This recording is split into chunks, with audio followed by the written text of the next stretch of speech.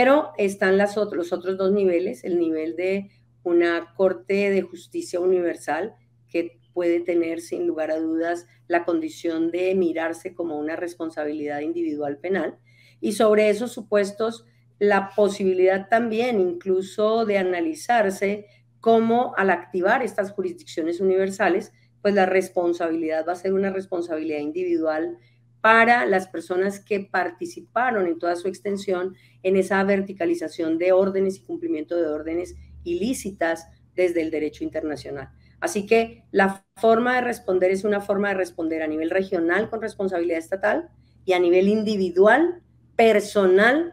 y aquí hablamos de nombres propios y de personas consideradas de manera individual y personal. La responsabilidad precisamente en materia penal es personalísima por lo que hizo o dejó de hacer frente a estos graves crímenes.